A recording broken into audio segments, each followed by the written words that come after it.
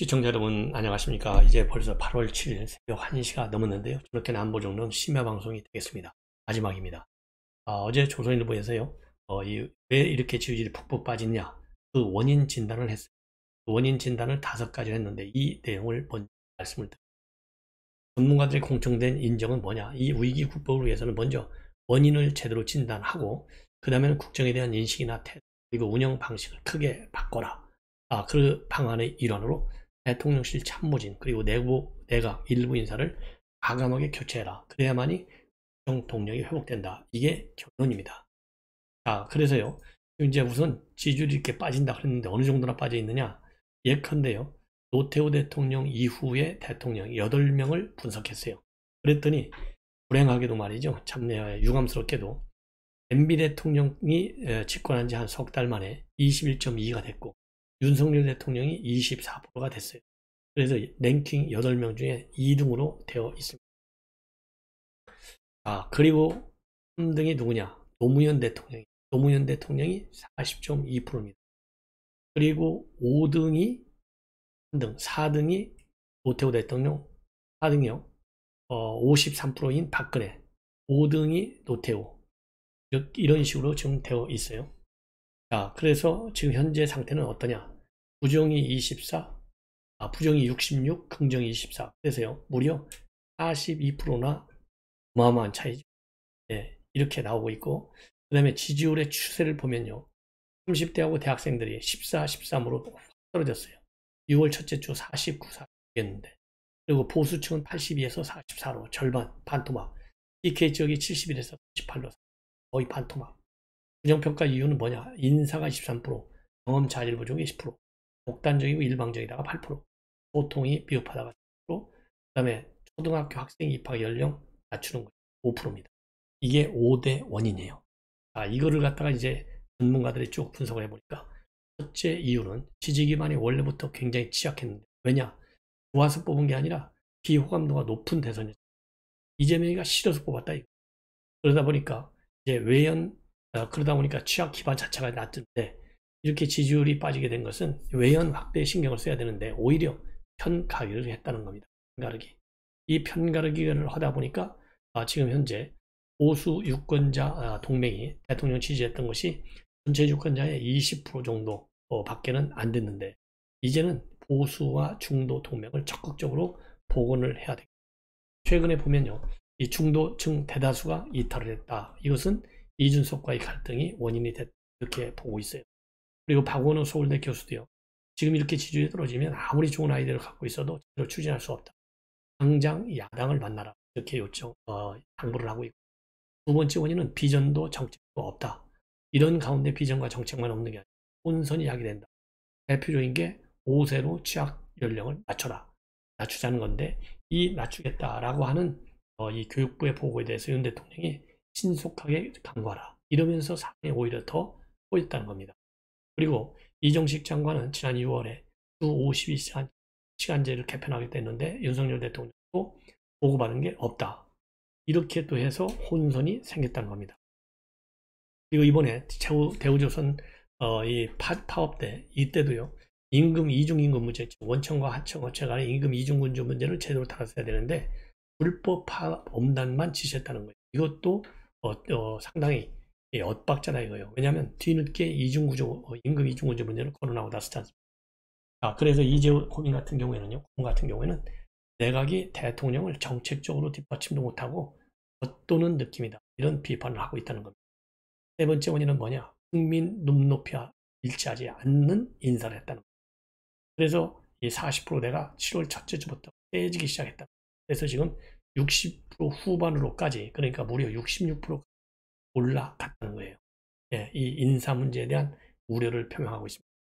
자, 그러면서 이 교육부 장관 임명하고 왜냐하면 음주운전 전력 있죠. 논문 표절 있죠. 그런데 어떻게 임명을 강행했냐. 그리고 이현모 대통령실 인사비서관 부인 신모 씨가 나행단에 포함돼서 페인을 다녀온 거. 그리고 또 특히 윤 대통령이 지난 정권에서 지명된 장관 중에서 이렇게 훌륭한 사람을 봤냐고 얘기한 거. 그리고 또 법적으로는 뭐 문제가 없다. 아, 이런 것들이 국민 눈높이에 맞지 않는 인사로 이어지고 이러다 보니까요. 신율 교수 같은 경우에 지난 대선을 통해서 공정과 상식에 대한 국민적 기대가 높아졌는데 지난 정부 때도 그랬다라는 식으로 항변할 게 아니라 구설에 휘말린 인사들을 해라. 그래야만이 이러한 의견을 낸 그리고요.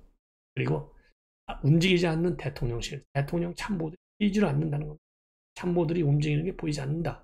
이래서 안 된다는 이유가 또 나오고 있습니다. 그래서 이게 대통령도 말이죠. 최근에 사석에서 참모진에 대한 답변했다. 이런 이야기가 내부로 퍼져, 퍼져 있다고 합니다. 그래서 대통령 입만 보지 말고 이제는 참모들이 좀 먼저 이렇게 지금 내가 지적을 하고 있습니다. 그리고 마지막 다섯 번째는요. 윤석열 대통령 본인이 안고 있는 리스크가 크다는 겁니다. 자, 박수희 장관한테 임명장을 주면서 언론에 야당에 공격받느라 고생이 많았다. 이거를 공개적으로 언급한 거. 이거는 국민에게 오만하거나 불통한 이미지로 볼 수 있다는 겁니다. 그래서 함성득 경기대 교수 같은 경우는요. 국민은 오만한 의정단을 제일 싫어하는데 언론에 대통령이 열심히 하는데 왜 몰라주냐. 이런 식으로 화난 듯 비치는 것은 곤란. 이렇게 아, 그래서요, 이번 이제 휴가 중에 서초동 사주에서 개부소 머물렀는데, 국정 난맥과 관련해서 의견을 들은 걸로 알려 있습니다. 그래서 참모진을 일부 증언하는 등 대통령의 정부 정책을 보강하는 게 어떠냐. 이렇게 일부 인사가 주원했다. 그래서 그런데도 불구하고요, 대통령 큰 폭의 인적 개혁 생각이 없는 것으로 되어지고 있고, 또 정대철 상임 고문은 윤 대통령이 휴가에서 복귀하면 을 줄이고 다양한 이야기를 먼저 듣는데 힘을 써야 한다. 이렇게 온. 자, 이러는 가운데 말이죠. 이제 당대용 지지율 떨어지는 거 제가 보기에는요, 여러 가지 복합. 역시 이준석의 강력한 반발. 이것도 큰 부분. 어느 여론조사를 보면 이준석의 내용이요. 뭐 5, 6%밖에 안 된다. 그보다 훨씬 더 크다. 이렇게 봅니다. 특히 집토끼들이 이탈하는 데는 이준석 내용이 큰 정치 이념적으로. 오히려요, 진보 층에서는 좋아하잖아요. 그렇기 때문에 이 보수층 그리고 중도층에서도 이준석 내용이 이준석의 이러한 내 불만 그리고 이 항명 파도 이것들이 더 크다 보는데 유근일 칼럼에서 말이죠. 조선일보 주필이죠. 이 조선일보 주필은 양상훈이라든가 고식이라든가 아, 그 다음에 네, 이러한 아, 조선일보 제가 상황을 얘기한 방송에서 이런 사람들하고는 의견이 조금 달라요. 그래서 이준석을 소환 하고 세서 조사하고 송치하고 기소하는 이 절차는 빨리빨리 좀 진행 좀 해라. 증거는 차고 넘친다. 이러한 칼럼을 뉴 데일리에 쓰고 있습니다. 261 칼럼은요, 이 뉴 데일리에 정례적으로 나오는 것이죠. 자, 그래서, 어, 특히 말이죠. 증거를 인멸할 위험이 있다고 판단. 지체 없이 구속 영장도. 그러면서 왜 이렇게 숨가쁘게 본인이 주장하느냐. 이것은 우선, 예, 이준석 편을 들고 있는 바른미래당 계열의 의원들, 그리고 이준석 뒷배를 봐주는 미디어 메신저들이 본질을 흐리고 있다는 거죠. 즉 그래서요 마치 양대 정치 등가의 권력이 투자인 양 그러니까 윤석열 대 반윤석열 친윤, 어, 친이준석 대 반이준석 이게 등가 세력인 것처럼 수행하고 각색하기 때문에 이게 문제인데 이것은 논점의 이탈 이렇게 얘기를 하고 있어요. 왜 그러냐? 왜 이런 일이 일어나느냐?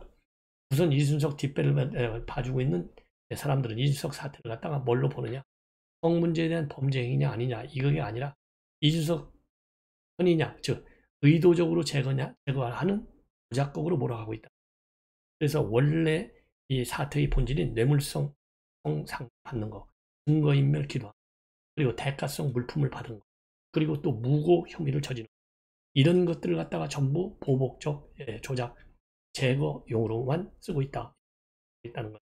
이게 본래의 사태의 본질인데 그래서 이거는 법대로 부상같이 수하고 송치해서 기소하고 재판하면 그것뿐이고 증거는 차고 넘치다. 그러면서 결정적 진술 내용 김성진 대표가 아, 이 코인 조사에서 받은 내용을 입수해서 다시 하고 있는데 뭐냐 핵심적인 진술이요 이거예요. 우리서 생탄 생선 당집 박근혜 대통령 기념식을 룸사롱에서 발기 촉진 씨알리스를 나눴 세 번째는요, 이준석을 먼저 성접대 현장에 모셔 한 점. 네 번째가요, 이 성, 어, 성, 성을 제공한, 그러니까 성관계를 맺은 사람을 특정하고 있는 점이 바로 오늘 유근일 칼럼의 특징입니다. 흰색 상을 입었다. 20대 초의 여성인데 대학생인지 모르겠다. 이 여성을 이준석에다가 데려다 줬다. 그리고 화장품 900만 원치를 뇌물로 줬다. 이런 것들이 김성진 대표의 진술을 통해 상당히 구체받는데 이 정도면 구속할 만한 충분한 이유가 이렇게 얘기를 하고 그리고 또 성상남이 이루어졌다라고 결론을 내릴 만한 또 상당한 이유 있는 결과도 발생. 왜 이렇게 해서 대접을 쫙 했지 않습니까? 그러니까 박근혜 대통령이 마침내 김성진 회사 아이카스를 방문하게 된 것이죠. 그래서 박근혜 대통령이 아이카스를 방문한 것은 바로 김성진 대표가 성상납도 해주고 그 다음에 선물도 주고 이러한 이렇게 뇌물 활동을 통해서 이루어졌다는 건데 이거를 갖다가 마치 조선시대 때 말이죠. 훈구파하고 살인파 간의 이, 어, 이 논쟁으로 보고 있는 건데 이거는 잘못된 것이다 이렇게 좀 주장을 하고 있어요. 그래서 마치 이러한 사태를 윤석열 대통령을 정점으로 하는 국민의힘의 예, 훈구파 그리고 신진 살인파 조광주를 제거하기 위한 훈구파가 살인파를 제거하기 위해서 꾸며낸 현대판 사안으로 되는 것처럼 지금 친 이준석 계열이 몰고 가는데 그건 아니다는 겁니다. 자, 그건 아니다. 절대로 여기에 말은 그리고 신당 창당, 신당 창당해봐야 놀랄 사람들은 아무도 그래서 지금부터는요 이러한 이준석 파들의 기선을 제압하기 위해서라도 조사는 빨리빨리 이루어져서 8월 안으로 소환 조사를 마쳐라. 어, 그래야만이 이준석을 권력투쟁의 피해자로 만들려고 하는 그 큰 손들의 흉계를 없이 할수 있다. 그러면서요. 순양가의 어사출도 장면을 우리가 빨리 보고 싶다. 이렇게 결론을 내리고 있어요. 뭐 여러분들 잘 아시다시피 유근필, 아, 예, 유근열, 유근열 전 조선일보, 어, 이분도 뭐 유근일 전 조선일보 주필을 쓰잖아요. 그러니까 뭐 대단한 언론, 언론, 언론인인데 생각이 조금 어, 뭐라 그럴까요? 중도 보수 진보 그리고 조금 이제 강보수냐 또 약보수냐 중간 보수냐 이럴 때 유근일 의원 같은 경우에는요, 좀 강보수에 속한다, 이렇게 볼 수. 여러분들도 뭐 잘 아시죠. 자, 그 다음에는요, 이제, 그거는 유근일 칼럼이 지난, 어, 유선, 윤석열 대통령하고, 그 다음에 이상민, 한동훈한테 10개 항을 각오하고 이행을 하라. 이러한 입장문을 내놓고 있습니다. 아, 상당히 이제 강한데요. 여러분들께 말씀드리다시피. 왜냐면 이건 뭐 경찰 투쟁도까지 일어난 지금 나라잖아요. 이건 사상 유례없는 항명 사태잖아요. 이러한 경찰이 투쟁한 윤석열 식문화를 노리고 있는 것. 그런 점에서 윤석열과 이상민, 본이 각오해야 할 10개 항을 내놓고 있는데 이 10개 항을 한번 제가 읽어드릴게요. 나 있습니다. 우선 오늘의 한국은 정상시국이 아니라 비상시국이다. 그 다음에 이 내전이라는 것, 시빌 워. 그래서 이 내전은 NL 혁명 세력이 3구 대선 결과를 수긍한 제2의 한국병과 촛불을 기획하는 데서 발화하고 있다. 세 번째, 윤석열 대통령 식문화를 노린 것이다. 네 번째, 윤석열 식문화는 여기서 끝나지 않고 영구 혁명으로 간다. 즉 장기 집권으로 간다는 거죠. 다섯 번째, 경찰 항명 사태는 우리 대전에 동반 시너지 효과를 일으키고 있다. 그러니까 NL 계열들의 시위에다가 경찰 시위까지 붙여서 시너지 효과가 난다는 거예요. 여기서 여섯 번째, 이준석 옹호파도 안윤석열 대열에 가담하는 꼴이라는 것이다. 그러니까 이준, 저, 진보 진영에서 이준석 이 역, 역선택을 갖고 여론조사가 지지율이 많이 나오고 이런 얘기가 아니겠습니까? 그 다음에 좌우를 방문하고 언론 매체들 죄주의적 양다리 걸치기 윤석열 길들이기 그리고 윤석열 나서고 있다. 그리고 한동훈 이사민 등 몇몇 인물을 제외하고 심지어는 국민의힘까지도 윤 대통령에게 썩 도움이 되는 자들이 아니다. 따라서 윤 대통령은 통상의 정치가 아닌 내전에서 광우병 혁명, 촛불 혁명의 세력을 세력의 반란을 강력한 자유 레지스당 이겨내야 한다. 그러면서 열 번째 마지막으로요. 그러려면 윤석열 대통령은 결단의 안 된다. 예. 이렇게 얘기를 하고 있습니다.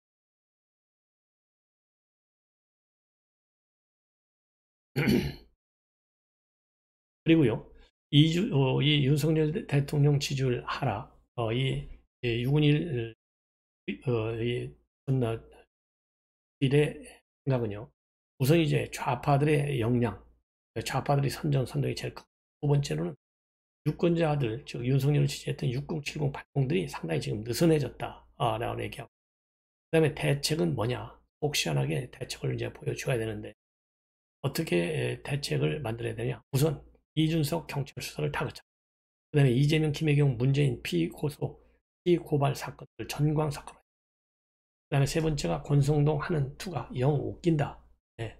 그러면서 길 사건 났더니 용천 배기가 번져나 지나가고 누가 권성동 저를 위해 정권 영 감이 못 된다 물러났으면 한다 다섯 번째 국민의힘 현 지도부는 총사퇴하고 재창당 수준의 지도체제를 만들어라. 그리고 이명삼, 이명박도 박근혜도 다 전시대 이야기다. 유승민, 이 주석은 국내 대안들에게 아니다. 이명삼, 이명박, 박근혜 시대는 지나간 역사로서 윤석열 시대에선 자유진영의 새, 새 노선, 새 정책을 자. 윤석열 조벌에 그럴 능력이 있는 자가 있는가? 도무지 눈에 띄질 않는다. 그 다음에 기업의 창을성을 보라 불법 노조 활동에 강력 대응하고 교육계의 이념적 쇠뇌를 응징하라. 내집 마련 꿈을 되살릴 정책을 내놔라. 상속세 감면, 규제 철폐, 공공기관 정비, 공무원 감축, 작은 정부를 실현해 노영 방송을 민영화해라. 원전을 전면체 가동해야 한다. 그러면서 이제 시간이 없으니 어사출두를 빨리 외쳐라. 이렇게 주장을 하고 있습니다. 네. 그래서 7월 말에서 8월 중순 안으로 문재인 5년 적폐 어사출두를 외쳐야 한다. 시한이다. 그렇지 못할 때 윤석열 정부는 원칙주의적 자유 레지스탕스 위험한 정부 직면할 것이다. 그래서 이 보수 칩국, 어, 칩도끼들이 더 이탈할 수 있다. 이러한 주장을 하는 거죠. 자, 이제 마지막으로 말이죠. 이 박진 저 외교부 장관이요. 지금 이제 푸놈펜에서 야세한 어, 이 동아시아 국가연합이잖아요. 아세안 관련 외교 장관가 열리고 있어요.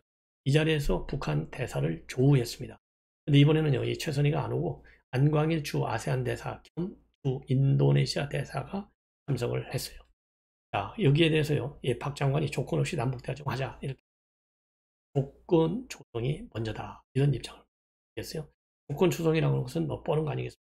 첫째는 적대시 정책을 철폐하라. 이게 가장 중요한 조건이에요. 그 다음에 반공법, 그 다음에 국정원 해체. 이거는 뭐 상식적인 거고. 그 다음에 이제 최근에 윤석열 정부가 들어와서 얘기한 것이 조건 조성하는. 우선 북한에 대한 이 강경책, 이거 없애는 거죠. 대북 정책, 어, 정책 바꾸라. 그리고 한미동맹 파괴라. 이건 이런 겁니다. 예, 그러니까 말이 안 되는 것이죠. 그리고 뭐 인도 지원, 인도 지원이 아니라 경제적인 지원을 먼저 해달라. 이런 얘기가 여건이 조성. 그러니까 문재인 정권 때 문재인 대통령이 추진했던 그 기조를 이어받으라는 거예요. 이게 받을 일입니까?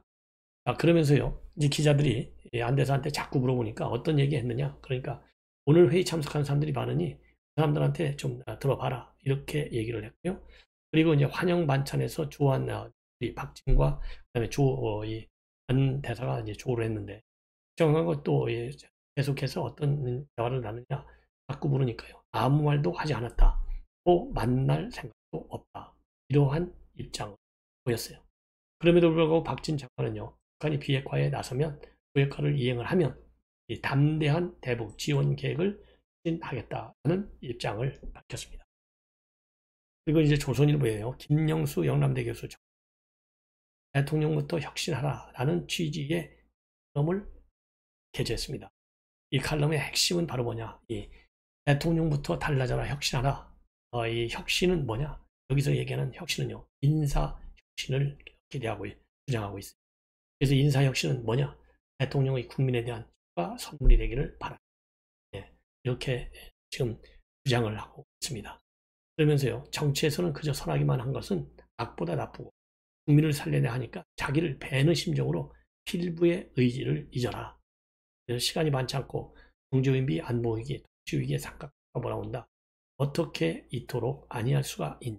그러면서요, 문재인 정부의 무능과 위선에 지친 국민에게 윤석열 대통령의 희망이었는데 이제 국민은 누굴 믿고 사냐. 이 어려운 시대에 윤, 윤 대통령에게 심기 일전의 쇄신호자 다시 한번 국민의 희망이 되어 달라 결론을 내리고 있습니다.